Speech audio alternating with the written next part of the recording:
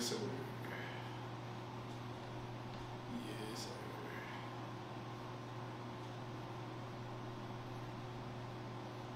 Mic check, mic check.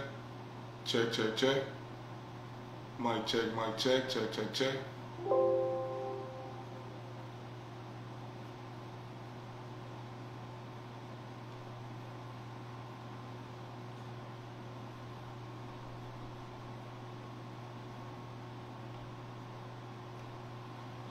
All right. People, great people, guys, people. Good people, great people, guys, people. Welcome to another episode, the last episode of Professor Odi's, the antidote. Well, the last episode for the season. Don't freak out. The last episode for the season of Professor Odi's, the antidote. And um, I'm doing a couple of different things with this stream, man. Um, I'm rocking with, you know, uh, the Instagram live stream. I'm also rocking with the YouTube live stream. Hopefully everything is doing what it is that I need to do. You feel what I'm saying? Uh, hopefully everything is streaming the way that I need it to stream. If not, well, it's going to be very interesting how this is going to look moving forward. You dig what I'm saying? Uh, it's going to be real interesting, y'all. This episode is going to be real interesting.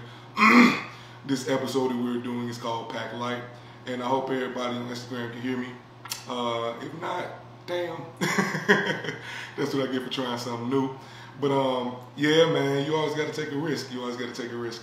Um, but once again, good people, great people, guys, people. Today's episode is called Pack Light, um, Relationships and Trauma.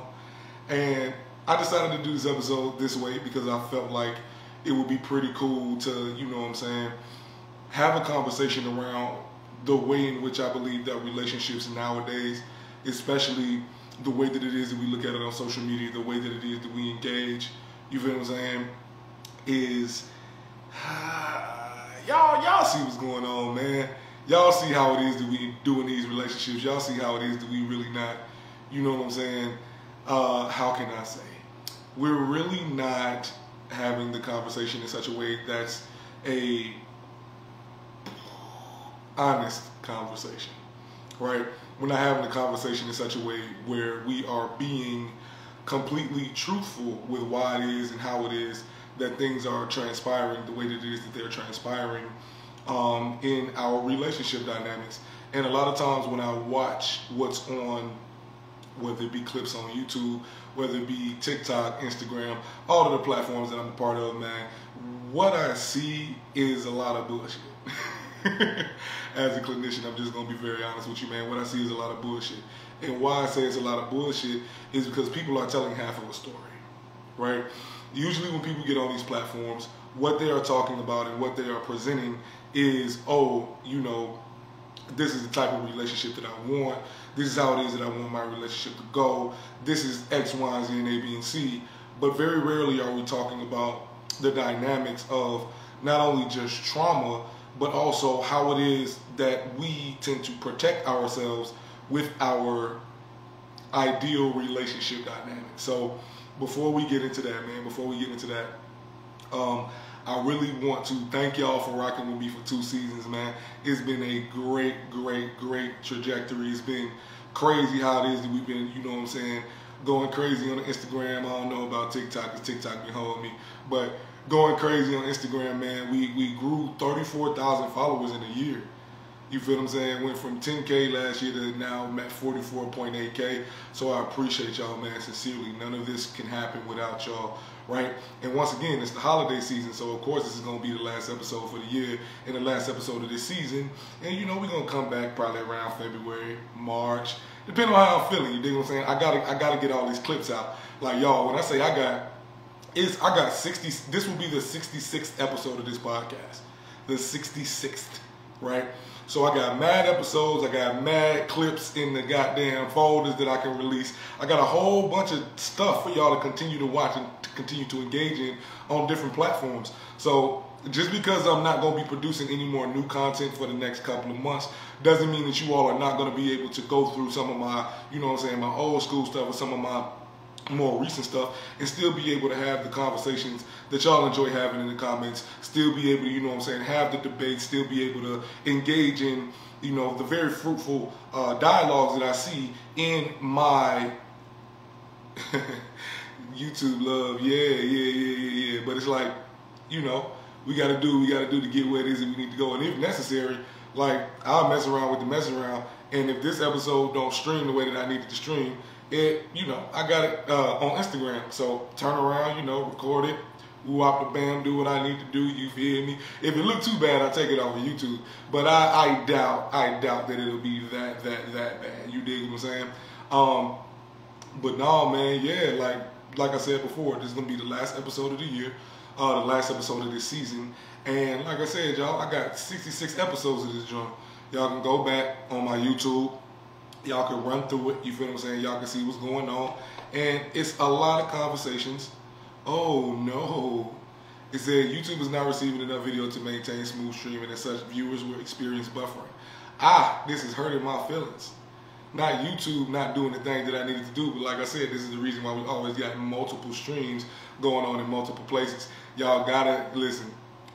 Technology is gonna technology. You dig what I'm saying? But no, man. So we're gonna continue rolling. Um, we're gonna continue rolling with the episode on Instagram. So if y'all on YouTube right now and YouTube's not doing what it needs to do, head on over to Instagram because we're still on Instagram. We're still going crazy. But yeah, man, tonight's episode is called Relationships and Trauma, Pack a Light, right? So as I was saying in the intro, it's a lot, a lot, a lot, a lot, a lot of bullshit. A lot of bullshit in the relationship dynamic, in the relationship conversation on social media and on other platforms, right? Um, and I'm not necessarily a fan of it, right? I don't necessarily enjoy how it is that we will come onto these platforms and we'll say stuff like, I want this type of relationship. I'm expecting this from this type of person. I'm looking for it to go this particular type of way. And we are not being honest with what it is and how it is that we need our, you know, internals to be situated before we start going into relationships. So what do I mean? A lot of us, a lot of us utilize our ideal relationship dynamics in order to protect us from the relationship trauma that we've experienced, right? So as a clinician, I work with both couples and singles, or I work with both couples and individuals. And in a in a lot of a lot of people's relationship expectations, there are things that they have not experienced before but there are also things that they have experienced that they would like to experience the opposite of. So, for example, there are a lot of men who want a woman who is not argumentative, who is, you know what I'm saying, submissive, who is doesn't have a lot of, you know what I'm saying, a lot of bodies, X, Y, Z, and A, B, and C. And a number of these things, when I listen closely enough, is because a number of these men have experienced women or who have experienced relationships where they have had a partner who has not supported them emotionally, who where they have been cheated on, right? Or they have been seeking partnerships that are not necessarily the most beneficial to the emotional disposition or the emotional needs that they have as a man. So when they go into their next relationships or when they go into the dating space, what happens is, is that they come with these very unrealistic expectations about not necessarily what type of woman that they are going to run into, but the qualifiers of what a quote unquote good woman is, right? Similarly with women, one of the things that I see a lot, a lot from women is like, oh, I want an emotionally intelligent man. I want a man who's going to be able to, you know what I'm saying, pay for this, do this, X, Y, Z, and A, B, and C, because they've experienced shit tier men. They've experienced men who are at the bottom of the barrel. They've experienced men who have not been able to facilitate what it is that they say that they can facilitate, right? So when they go into the relationship sphere, once again, or when they go into the dating sphere, there are so many qualifiers that rule out people or men in the dating sphere that they just believe that there are no good men, or they just believe that the men, they're, they're just pissing the dating pool. Now, let me be very clear. Let me be extremely clear right? As a relationship therapist and as an individual clinician, there is piss in the dating pool. there just is. Like social media has had an impact. You understand what I'm saying? People's trauma has had an impact. But the main like the main parts of the piss that's in the dating pool is people throwing their trauma and people trauma dumping into the dating pool, right?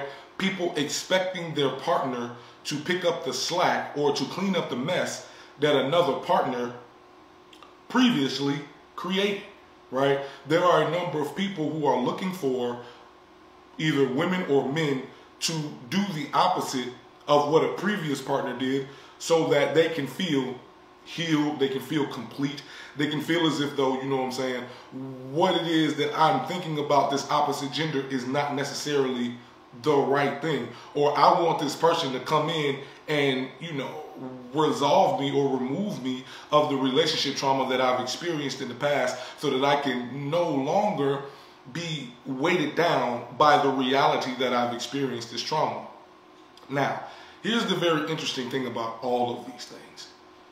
I did an episode previously called You Look for What You Lack, right? And when I say that, what it is that I mean is that you are looking for the things that you did not have either in your childhood or you are looking for things that you did not have in previous relationships. And I'm not saying that this is a bad thing, right? I'm not saying that you looking for these things in relationships is something that you should not be looking for. But what I tell my clients all the time is that you can keep your standards, but modify your expectations. A lot of times, the things that we expect in the dating realm are exaggerated versions of what we will accept, right? So, Kier Gaines said something. Shout out Kier Gaines. Kier Gaines said that we operate between the ideal and the non-ideal. A lot of people will shoot for the ideal, but when they don't get that ideal, they become upset, right? They believe that somehow somebody is withholding something from them, or they just believe that this perfect ideal is something that they will be able to obtain. My thought on that is that people look for that perfect ideal because they do not want to deal with the discomfort and the pain that comes with meeting somewhere in the middle, right? They do not want to yield. They do not want to give. They do not want to, you know, compromise. Why? Because they feel like, oh, I've compromised so much before. Why should I have to compromise now? What you did before was not compromise, it was self betrayal. I'm going to say it again. What you did before was not compromise, it was self betrayal. And there's a difference. Compromise is you standing on business and saying, you know what?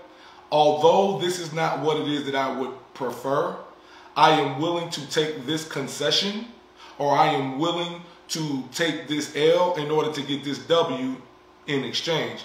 Self betrayal is I'm just going to dispose of all of my boundaries. I'm going to dispose of all of my expectations and I'm going to take you as you are because you have one or two qualities that I feel are attractive to me.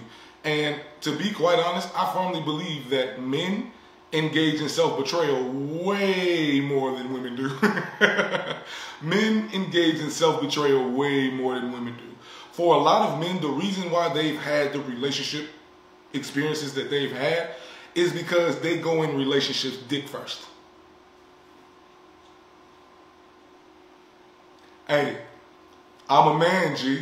I done seen it right? A lot of men do not learn relationship discernment until they've gotten through a number of women who they started fucking and then they got into a situationship and that woman harmed them in that situationship and then they moved out of the situationship then having this baggage that they're carrying saying that women ain't shit right women do something similar but in my experience, I've seen that men do it more often. Why? Because men have more of a problem verbalizing what it is that they want in relationships, right? Men have more of an issue identifying what it is that they want in committed relationships, right? So when men come onto these platforms and they come onto these podcasts and they begin saying, oh, I want a woman with this, you know what I'm saying? I want a woman with a low body count or I want a woman who's going to cook, clean, X, Y, Z, and A, B, and C it's because they did not require those things at the front of their previous situationships. Or they did not require those things at the front of what it is that they were doing previously. So they got to a point where the woman that they was fucking, they decide, oh, this is the woman that I, you know what I'm saying, have some type of feelings for, or this is the woman that I have some type of enamoring or enamorment, if that's a word. I, I am enamored by this woman, so now I want to see whether or not I can cajole her into doing these skills. That's that's foolish. that's foolish, right? It is something that a number of men do. And then when that woman is not able to reciprocate those things, they become upset, right? They become hard. They become, they start acting funny, right? Because once again, men have a more difficult time expressing their needs in relationships than women do. So it's much easier for men to, to kick up dust. It's much easier for men to step out and cheat. It's much easier for men to say, no, we're not in a relationship than it is for him to identify the needs that he wants in a committed relationship and take the risk for him to potentially be harmed in that dynamic, right? Now, in my experience with women, Stormy said it. Uh, shout out Stormy P, the Chocolate Chip and Sip podcast. You know what I'm saying? Stormy said the reason why so many issues in the relationship uh, dynamic or the, the, the dating dynamic now is because ain't nobody standing on business, right? A woman to say, "Oh, I want this from a man. I want this from a man. I want this from a man," and all it takes is for a man to be over six feet with a pretty smile, a beard, and a gold chain. Now all of a sudden, all your standards out the window. Hey, ladies, y'all are complicit in this dynamic, right? And I firmly believe that for a lot of women, a lot of women, they will not admit that things get their panties wet or things get them all enthralled. Like women are sexual beings too, right? Women are sexual beings as well. The difference is, is that women are more likely, in my mind, to verbalize what it is they're looking for in a relationship, or they are more likely to begin, quote unquote, dropping hints as to what it is that they would like. Now, there are two things in this dynamic. The first thing is that whole dropping hint shit, ladies, that is low tier manipulation. That is low tier manipulation. And hold on, before you get your thong in your booty hole, let me explain what's going on. The reason why I say it's low tier manipulation is because for a number of you all, what will happen is, is that when you drop these hints and this man does not understand these hints, you will get upset. You will become angry you will attempt to punish this man and you will attempt to, once again, become annoyed or angered with this man because he did not pick up what you were putting down. Ma'am, I'm not going to say that men are stupid. Men are straightforward. You have to ask for what it is that you want, right? You have to ask for what it is that you desire, straight up and straight out, right? That's the drop and hints part. The other part is you're verbalizing what it is that you want to a man has to a man who has already told you he's not going to do it. You are trying to cajole yourself into a position where this man is all of a sudden going to do for you what it is that you want him to do for you because your pussy just that magical, baby. It's not. I'm sorry to say, it's not. Your coochie is not that fantastic. It just is not right? I've had conversations with men where men have told me straight up, I've told this woman, I'm not doing this, I'm not doing this, and I'm not doing this. And that woman will come in and try to change all of those things as if though I am willing to all of a sudden change my outlook or my, my, my life trajectory for her. That is the equivalent, and ladies, hear me when I say this, that is the equivalent of you saying to a man that you're not going to do something and him attempting to manipulate you into doing it. It is crossing a boundary. Right? So, now that we've identified both the man's and the woman's complicitness in this entire dynamic, what do these things mean, Odi? How do these things come to pass? Why do these things operate this way? Everybody's fucking traumatized especially black folk. Everybody is goddamn traumatized, right? And what do I mean by this? What do I mean by this? For a lot of us as black men and black women, us verbalizing our needs to our parents, our contemporaries, our peers, before the need was met, the need was questioned or minimized. This is what I mean. Here's an example. Mom, Dad, I'm feeling X, Y, and Z. Ooh, Mom, Dad, I'm feeling depressed. Mom, Dad, I'm feeling sad. Mom, Dad, I'm feeling angry. Mom, Dad, I'm feeling this emotion. What we usually get in return? You better go depress them dishes. Right? Oh, what you feeling? It don't mean shit. You being mad don't mean nothing. There's bills to pay in this house. X, Y, Z, and A, B, and C. That communication dynamic sets up a precedent where as an adult, you believe that your needs are already too much. Right? You believe that your emotions are difficult to deal with. You believe that even if you ask for something, your need is not going to get met. There are a number of black men and there are a number of black women who suffer from hyper independence. Right? That hyper independence comes from being in environments where their parents, being in environments where their peers, being in environments where people were not dependable. Not necessarily because they did not want to be dependable, but because the resource for them to be dependable, whether it be time, energy, money, labor, was not present. Right? And instead of that parent saying, I don't have the time, or instead of that parent saying, I don't have the money, instead of that parent saying, I don't have this or I don't have that, I firmly believe that a number of our black parents felt deep and immense shame for not being able to give their children what it is that they wanted to give their children. And instead of processing that internal shame, they lashed out. Right? Our parents became upset. Why are you even asking me for this? What makes you believe that you deserve this and I didn't even get it? If I didn't get it, you my king, you my child, what makes you think that you gonna get it? Right? There are some parents who were not physically present. Right? So we don't even know what it means for this parent to show up. We don't even know what it means for this parent to be present. We don't even know what it means for this parent to come and give us what it is that we are looking for right? We don't know what it means. We don't. Some of us have fathers who showed up when they wanted to. Some of us had uncles and aunts who were transient in our lives, came in, gave us a little bit of money, left, and believed that that's what was necessary in order to raise a child. Right? Some of us had parents who believed that all they had to do was give money right? All they had to do was do a little ditty, show up, hey, how you doing? I'm your daddy, I'm your mom, and then, you know what I'm saying, skedaddle, do whatever it is they was doing before, right? That sets up a foundation for a precedent that makes you believe that you are not worthy to stay around for, right? It sets up a precedent for you to continue to engage in begging behaviors or engage in abandonment of the fear of abandonment, right? It drives you to engage in anxious, avoidant, or avoidant behaviors because once again, you're so used to people being transient that you don't even want to attach to people, right? So once again, that's where them commitment issues come in.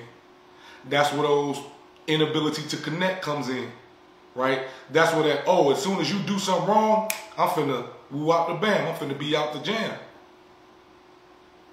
That's where that comes from. Right? On the other hand, we may have had parents that were physically present but were emotionally absent. Right? Parents that only engaged with you in a negative, in a loud, and in a violent way. Right? Parents who only gave you attention when you were doing negative things. Or parents who only gave you feedback when you were doing something that you had no business, right? So the boss up and beat you parents, right? No love. No, you did a good job. No, oh, you did this well. None of those things, right? It was the parent who came in as the disciplinarian, who came in as the, oh, this is what you need to do, who came in as the, oh, I don't give a damn about what it is that you're feeling. I don't give a damn about you crying. I don't care about none of that. Do what it is that I ask you to do. Right? So once again, that sets up a precedent for you to withdraw. That sets up a precedent for you to not believe that this person is here for you. It sets up this precedent for you to have or to need constant reassurance that for some people feels like clinginess, right? It leads you to believe that you need to be around your partner all the time. Otherwise, this partner is going to, once again, not be present, right? If they had a choice, they wouldn't be here. So, light of me allowing them their own space, I'm just going to be around them all the time, right? You have other parents who were enmeshed in their children's lives, right? And when I say enmeshed, enmeshed means the lack of boundaries, lack of space, and lack of rigid, once again, defining characteristics between parent and child, right? So those parents who are in your business all the time. And when I say in your business, I don't necessarily mean, hey, tell me what's going on. No, no, no, no. I mean, your parent was damn near your best friend, right? Your parent was coming to tell you about the shit that was going on in their lives and how their lives was fucked up right? Your parent was coming to you to help or for help with regulation, help with, you know what I'm saying, stabilizing themselves, help with understanding how it is to navigate the world. You had to grow up faster than you wanted to, right? So that sets up a precedent and a foundation in your dating space for you to infantilize your partner right? You just somebody else I got to raise. You're another bill. You're another liability. All of these different things come from these different types of traumas that we potentially could have experienced in our childhoods or in our younger years, right? But most people think that, you know, your attachment style is a uh, is a death sentence, right? most people believe that your attachment style is something that, once again, is constant. It's something that you're always going to deal with. It's something that you're always going to engage in. And that's not necessarily true, right? But we're going to get to that point in a minute. There are also people who believe that childhood trauma is the only trauma that impacts your relationship dynamics over time. That is the farthest thing from the truth, right? Midlife relationship trauma, the trauma that we experience when we first begin dating, right? The trauma that we experience when we are literally going out here, taking these emotional risks, engaging with these people, learning, being harmed, taking it on the chin, all of these different things, right? So, what I've noticed from not only just my clients, but a lot of people on platforms, Instagram, you know what I'm saying, all of these different uh, all of these different platforms. Is that when they begin talking about relationships specifically, what they begin talking about are the things that they've experienced in the past that have harmed them so deeply that they have not taken the time to process through them or have harmed them so deeply that now what they are attempting to do is that they are attempting to shield themselves from experiencing this type of harm, right? So, for example, one of my favorite examples is extreme possessiveness. My man can't do this. My man can't do this. My I, I, I was watching uh, I was watching a podcast clip and I can't remember what podcast it was. I think it was either Tequila Talk or one of them one of the podcasts that be in Atlanta, right? And the girl was like, "If you weren't my friend, I wouldn't allow you around my man." Why? My man can't have no big booty friends. What? So the other podcast host was like, yo, that's mad possessive. And the woman was like, you're right. You are absolutely right. And I don't care. I am very possessive of my man. Right? There are a number of men who will say, once I get with this girl, she can't go to the club no more. She can't go on no girls trips. X, Y, Z, and A, B, and C. Wow, good brother. That's wild, right? Why do you believe that? Oh, because her friends did some hoes and they going da da da da da X, Y, Z, and A, B, and C. Hmm. So the trauma that both of you all are speaking from is the trauma of infidelity, or the trauma of somebody cheating on you, right? Another great, another fantastic example, fantastic example, is this body count conversation, which is hilarious to me because this exists more on the men's side than on the women's side. But with men, the body count conversation is a direct correlation to the fear of not being the man, right? Or the fear of not being the person who is knocking this woman uterus from wall to wall, right? It is a deeply, it is a deeply masculine fear of not being the person who your woman wants to be attached to 365 days a week. I mean, 365 days a year, seven days a week, right? I want to be the biggest dick that you ever had before, even though, even though, even though most men know that they were not the biggest dick that, that their woman has had. But he don't want her around no more dicks. Why? Because that dick might be bigger than mine. Straight up, right? I was watching another podcast. I think it was the Basement Podcast. I forget the pastor's name. But, oh boy, he went super viral. He said, listen, a lot of y'all, if, if y'all wives were really, if y'all wives were really to start talking, if y'all wives were really to start telling y'all about yourselves, you would not be able to take it, right? She didn't had eight inch peen before and she settled for five, right? She done engaged with different type of men before and she settled for you. So y'all will talk about, oh, she didn't gain weight, oh, she didn't did this, she didn't did that. My bad, y'all. She didn't did this, she didn't did that, oh, she done out it, out it, out. But she settled for you out the gate from jump. And now she's dealing with these relationship traumas that come from settling with somebody that you didn't even really, not necessarily you didn't want to be with, but you kind of compromised, right? Oh, I'm getting old. It's time for me to settle down. It's time for me to get married, right? There are a number of men who are extremely traumatized by that. Extremely. Why? Because they've had women chew them out the asshole. Chew them out because they started getting big and bad, and then that woman had to shut him down. Right? So now going into the dating sphere, he's like, I don't want a woman with too much experience because she may have had more experience than I am able to match. Right? All of these things extend from relationship trauma, you guys. All of these things extend from the trauma that is experienced throughout what it is that we engage in in relationships right? So when we talk about this whole idea of packing light, right? When we talk about this whole idea of, you know, beginning to heal this relationship trauma or beginning to, you know, equalize some of our relationship expectations or begin to equalize some of our relationship demands, I think one of the most profound things that I use in my relationship therapy or I use in my uh, dating coaching is the same thing that David Mann said on an interview. He said that when I'm talking to women and they bring me their lists, uh, he said that, okay, it's okay for you to have a list. Write down everything that you want on this list. Right? Everything that you want from a man.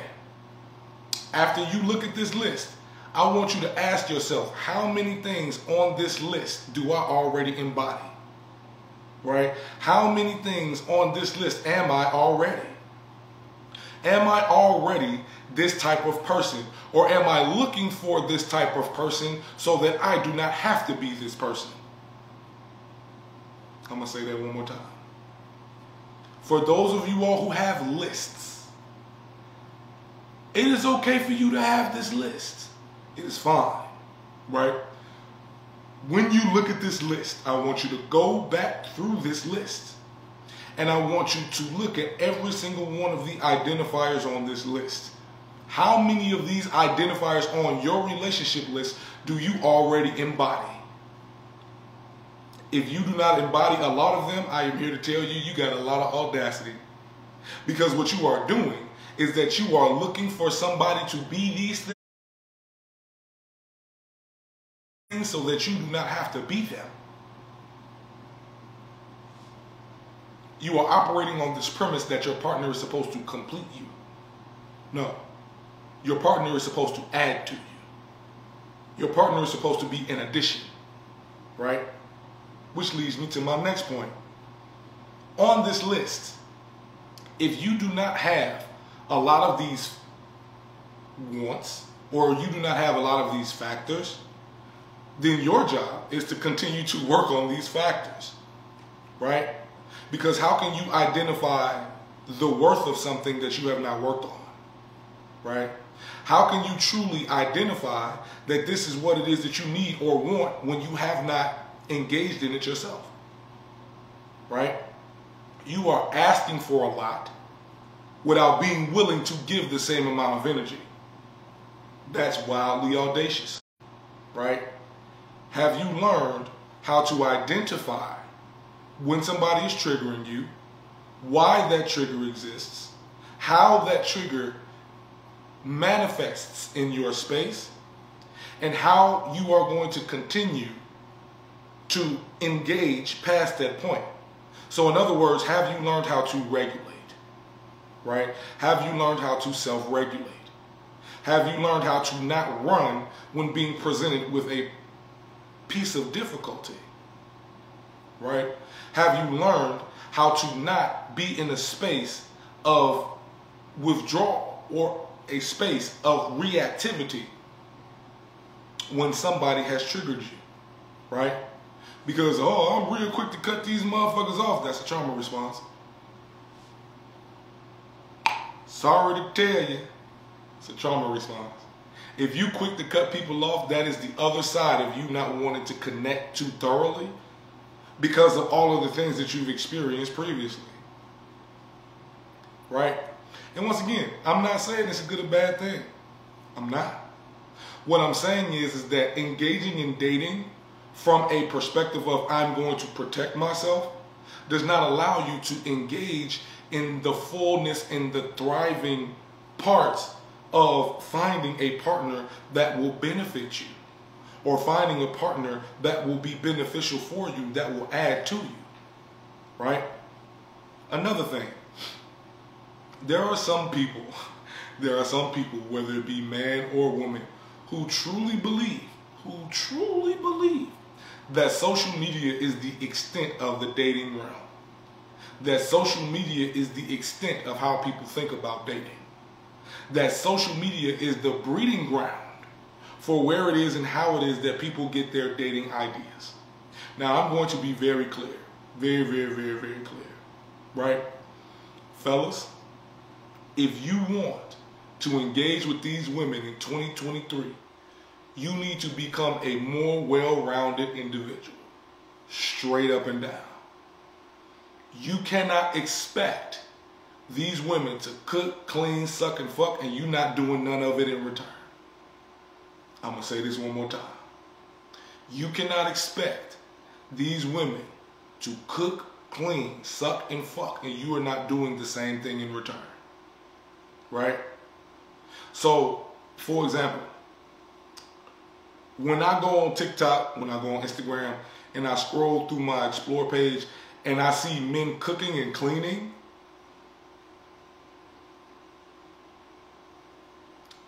I can almost guarantee you, guarantee there are thousands of women in those comments. Oh my God, can you feed me some? Oh my God, your house looks so clean. I just want, I bet it smells so good. I just want to go in and wrap myself in your blanket. Oh my God, this food looks so good. Are you married? Oh my. Well-rounded individual. Y'all see my comments, bro. Y'all see my comments, right? The women folk love me, dog. the women folk love me. Why? Because I'm intelligent. I know how to cook. I'm working on cleaning, buddy. You know what I'm saying? The ADHD be sabotaging me, you feel me? But I am extremely intelligent. I read constantly. I always have another conversation to have or always have another topic to bring up with these women. Right? Well, not anymore because I'm moving from a place of ethical non-monogamy to a place of conscious monogamy. But once again, back in my heyday, I've had multiple conversations with multiple women and they're just looking at me like, and I'm like, yo, are, are you okay? You, you, you straight? Like, you, you wanna, like, come on, have this conversation with me. They're like, No, I just want to listen to you talk. Enthralled, my boy. Enthralled. You hear what I'm saying? Right? A lot of men believe that all women want is money. Bro, bro. If I could tell you how wrong that is, right? But once again, a lot of y'all have allowed social media to traumatize you. A lot of you all have allowed social media to tell you that this is how it is that you get or obtain women, right? A lot of you all have turned yourselves into dickheads because you believe that once again, this is what women respond to. Oh, women like men who gonna da da da treat them like shit. Woo. Mm, no, no. Women respect men who have their own boundaries and are able to communicate those boundaries. It just looks like they're getting treated like shit. That's what it looks like. Right? Because it comes off as, oh, that man's being a dickhead. No. He's firmly affirming himself in that situation. He is, so a number of women will say, I like a man who's going to check me. Right? Jill Scott said, if you can talk to me like that, you can talk to me like that. If you can't talk to me like that, you can't talk to me like that.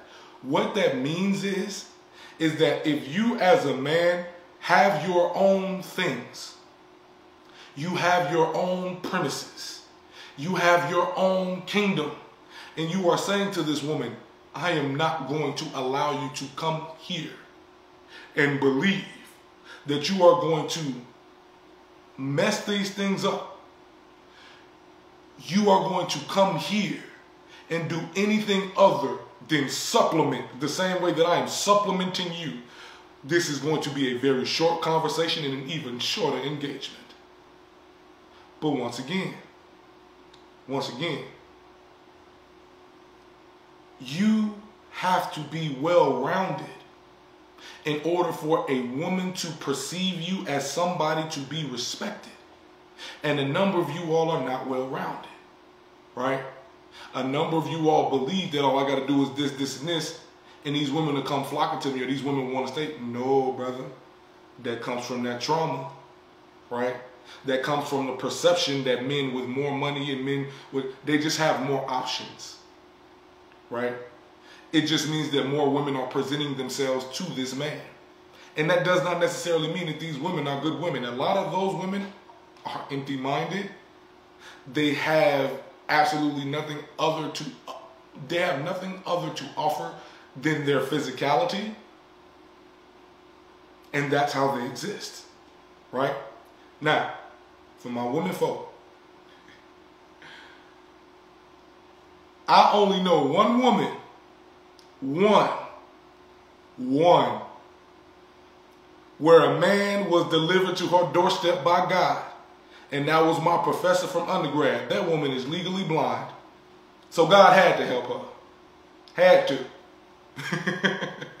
that is the only woman that I know who, after she prayed for him, God, Amazon, Amazon delivered that man to her doorstep.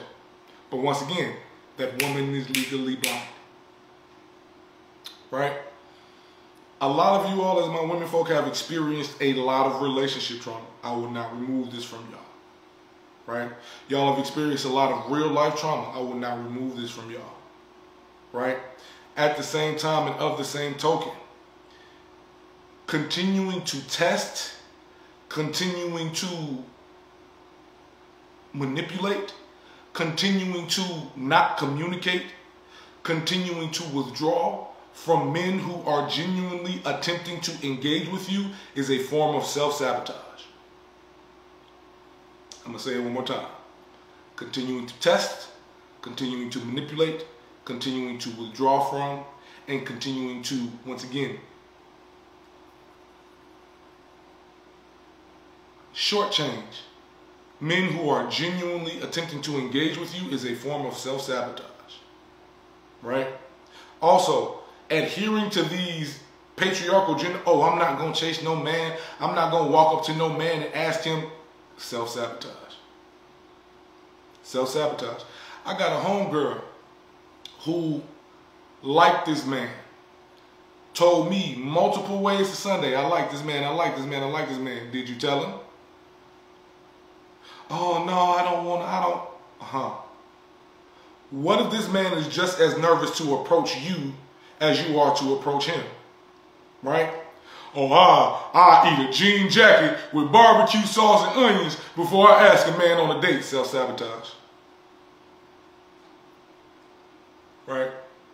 Oh, ah, ah, ah, rake, ah, rake leaves with a fork on a wet ground before I buy a man a drink. Self-sabotage.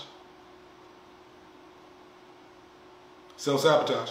You are just as afraid of rejection as that man is. You just believe that because you're a woman, you shouldn't have to deal with. Mm. You might need to remove your approach from patriarchal standards in order to get the man that you are looking for. You may have to try a different approach. Right? You may have to be in such a way where you are more vulnerable. Not put yourself in danger. Right? But remove yourself from the prevailing narrative on social media that men, most men, behave in these particular ways.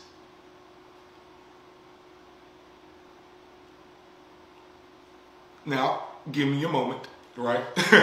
because sometimes even within myself, I gotta say to myself, like, yo, some of y'all are real foolish. And when I say y'all, I mean men. Some of these men are real foolish, right? But there are others, there are other men who would be more than willing to pay to go out with you.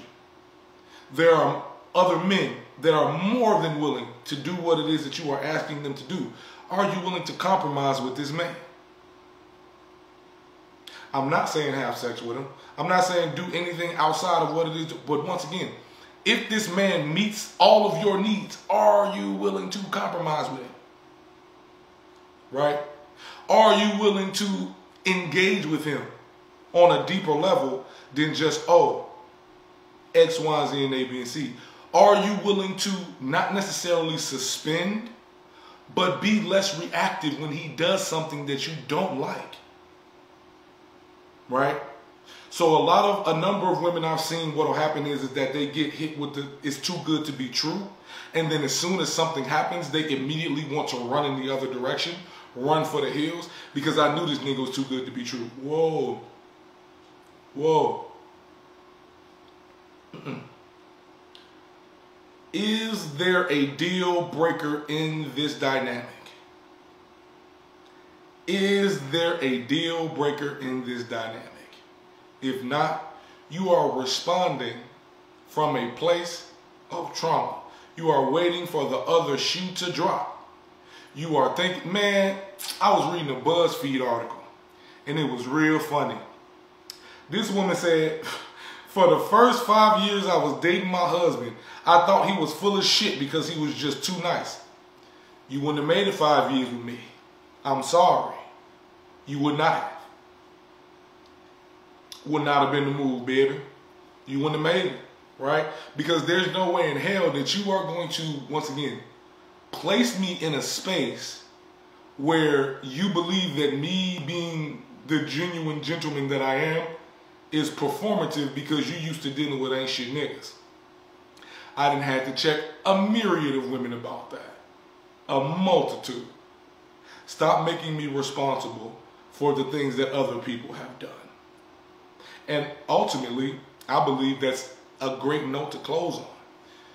In a lot of our relationship dynamics, in a lot of our dating expectations, in the contemporary dating pool right now is married folk, is folk who being mm, mm, mm, non-ethically non-monogamous, is folks who cheating, is folks who, but there are still very real, very single people who are looking for genuine connections. Not just sex, not just, no, they're there and they're out there. Are we making them responsible for the things that other people have done to us, both man and woman, right? For the fellas, are you asking for way too much or way too, like, are, are you asking for too much up front? Are on you on the first date, are you attempting to evaluate whether or not this woman is going to cook, clean, X, Y, Z, and A, B, and C? Right? Because you you were so used to neglectful partners in the past. Right?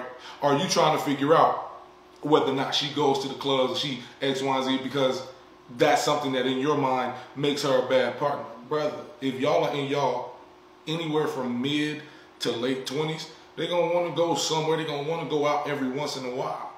How does that make them a bad partner? Right? For my ladies, are you looking for this man to check every single one of your boxes? And if he doesn't, then you get the ick. You need to manage your expectations. Right?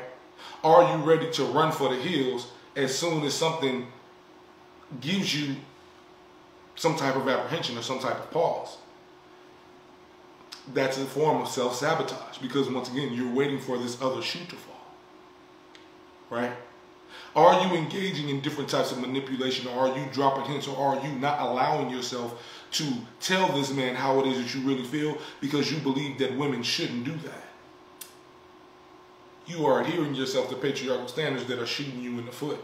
With all of these things being said, we, a lot of us, are making this person that we barely know that we are attempting to get to know,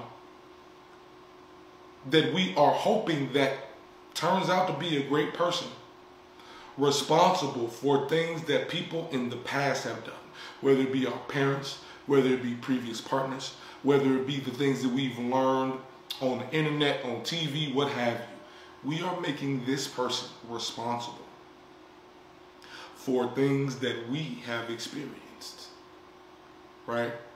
So, Odi, how do we navigate these waters a bit differently? I'm to tell y'all what it is that I tell my clients. Number one, evaluate your needs, your wants, and desires in relationships. What are your needs? And your needs are your non-negotiables. Needs, non-negotiables, and boundaries. I'm not going to say they all go into the same category, but they are they are they are very similar to one another, right?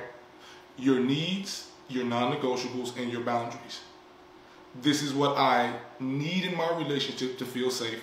This is what I will not tolerate to not be destabilized. And this is how it is that I would like to express my deep wants in my relationships. Right? So, needs, boundaries, and desires. When we get to the point of wants, this is where we may have to begin compromising, right? Because you're not. It is it is a extremely low probability that you're going to get everything that you want in your relationship. This is how this is how you land back on your needs, your non-negotiables, and your desires. Does this person at the very least meet anywhere between 75 to 80% of these things? In my mind, 60% is an F. We're not looking for Fs. We're looking for B pluses and above do they meet 75 to 80% of what these things are? Right? You have to learn how to communicate. You have to learn how to speak. You have to learn how to navigate emotional intelligence in such a way where you can regulate yourself and not attempt to control somebody else because you are dysregulated. So if that's not something that you have mastered or if that's not something that you feel as if though you are great at, my suggestion is to either stick with friends with benefits or do not attempt to engage in long-term relationships because midway through that somebody's going to piss you off and you're going to dysregulate and disrupt everything. So once again, do you know how to regulate yourself? Do you understand your triggers? Do you know what your glimmers are? Do you know what your love languages are? Do you know what your apology languages are? Right? These all go into emotional intelligence, emotional awareness, and communication, right? And finally, and in my mind, this is the most important aspect. Is this person willing to grow, to learn, and to understand with you? We have a tendency to believe that we are going to be the same person here as we are here, and we are not.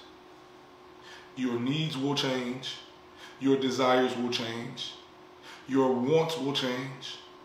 Your communication styles will change. your person will change. Is this person showing that they are capable of learning, growing, and expanding with you? Right? If so, you might have got one. You might have got one, right? If not, baby, you may need to keep searching. You dig what I'm saying? But ultimately, all of this, all of it, requires unpacking that baggage, baby. All of this requires digging deep into your luggage and seeing what is in it, right? Unfolding some of the dirty laundry, right? Unpacking some of these bags, leaving some of these bags, switching out some of this luggage. You may not need all these clothes. You might just need an overnight bag, a night bag. You dig what I'm saying? You have to learn how to pack light. You have to learn how to pack light. Right? So before we end, I'm gonna give y'all something that my mama gave me and my cousin. You know what I'm saying? Shout out Deja Louise. Shout out mommy. I love my mommy. Right? My mother says that everybody has luggage. Everybody has luggage in their closet, in their house, in their room. Everybody has luggage. It does not become baggage until you start carrying it. Ooh. My mama be dropping bars, y'all. Y'all don't even know. I'm gonna say that one more time, right? Everybody has luggage. You got luggage in your closet. You got luggage in your crib. You got luggage in your room. It does not become baggage until you decide to carry it. Right? But good people, great people, God's people. I don't know if that YouTube stream came back on, but if it didn't, hey y'all, we got the recording. So we're gonna throw it up on YouTube. You dig what I'm saying? It's gonna be on here probably like midnight or one o'clock or some shit like that. So if y'all wanna watch the replay, it's gonna be on YouTube. For my folks on Instagram, thank you, thank you, thank you for tuning in with me. Shout out Stormy. What up, Stormy? Hey, go follow Stormy. She's the person who I referenced earlier in the episode. Yay. The person who said uh, for them lady folks, you know what I'm saying, if he over six one, got a pretty smile in the beard, all your standards go out the window, yeah, that was Miss Stormy, the host of the Chocolate Chip and Sip podcast. Y'all go follow her immediately. If you in my live stream, go follow her immediately. But um, as I said previously, peace, love, soul, and butter rolls. I'll see y'all next time. Peace.